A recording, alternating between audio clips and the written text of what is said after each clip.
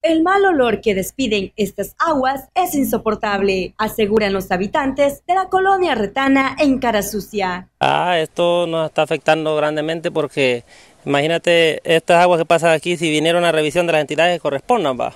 Eh, podríamos darnos cuenta de que el agua que tenemos no son aguas servidas, son aguas, aguas negras prácticamente, y Cara Sucia hasta este momento no tiene un sistema de aguas negras.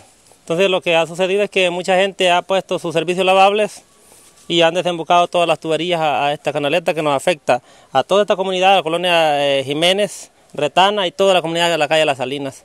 Entonces, el problema es de que si vamos a una entidad, no les corresponde a ellos. Vamos a otra, salen lo mismo. Yo veo a veces los señores de la unidad de salud regando charquitos en la calle, pero esto que tenemos aquí es peor. Hay zancudos, hay un mal olor que si cualquier persona viniera a cruzar por ahí por las 7 de la noche, esto es insoportable. Son aguas negras, ¿verdad? Una de las preocupaciones más grandes es la salud de los niños que viven en esta pequeña comunidad, manifiestan sus padres.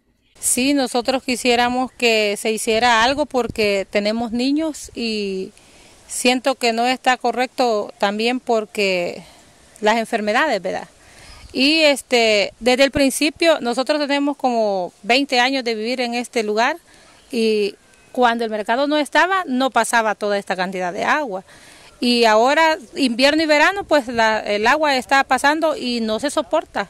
Esta comunidad espera ser escuchada por autoridades correspondientes, ya que depende de ellos poder solucionar este problema, el cual cada día el mal olor incrementa, incluso se siente dentro de las viviendas. Al alcalde eh, que se ponga, a, bueno, la mano en la conciencia, como decimos los salvadoreños, y haga un trabajo o, venga él personalmente a visualizar aquí la situación y venga a sentir este mal olor.